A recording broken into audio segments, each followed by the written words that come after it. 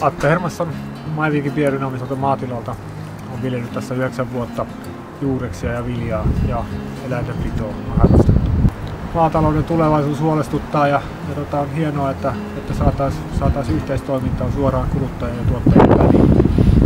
Ja, tota, meidän tämä ensimmäinen ruokaretriitti, kun tässä järjestettiin tänään, niin on ollut, ollut, ollut hieno kokemus kaikin puolin. Että paljon, paljon ihania ihmisiä on, tavattu ja, ja tota, ollaan touhuttu yhdessä ja, ja saa, saatu, saatu tilanteita tehtyä ja paljon, paljon tota, mielenkiintoisia keskusteluja.